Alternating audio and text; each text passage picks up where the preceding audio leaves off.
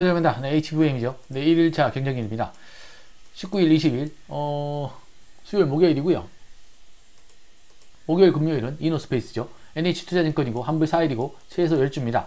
18,000원, 432억이고, 음, 1일차 청약 건수 15만 6천 건 들어왔고요. 균등은 1.91이고, 일반 경쟁률 30, 비례 60, 어, 비례한주 54만 9천 원, 1622억 들어왔습니다. 상장일 6월 28일이고, 대출기간 4일이고요.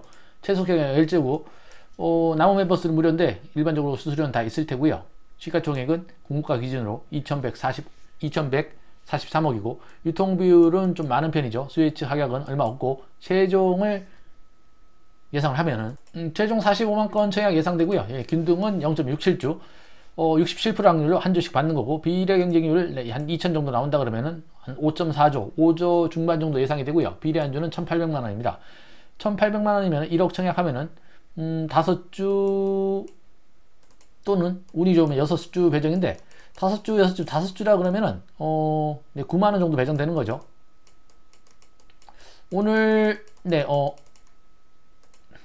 하이젠 같은 경우에는 4만 2천 원 1억 당한 6주 정도 배정이 예상되는데 딱 두 배 정도 나온다는 거죠. 뭐 이 정도 언저리에서 배정이 예상됩니다. 이게 환불일이 길기 때문에 그렇게 많이 들어올 것 같지는 않고 어, 네, 일단은 뭐 이게 공모 배정 규모가 432억이다 보니까 하이젠 한 250억보다는 두 배보다는 아니래도 좀 많은 편이죠.